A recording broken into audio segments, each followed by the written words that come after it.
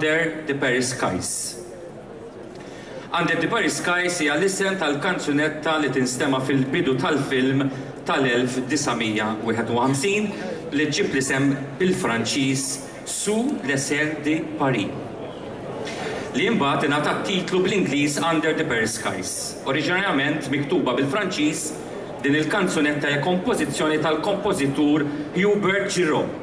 L-arranġament tal-banda huwa tas-Surmast Kopp.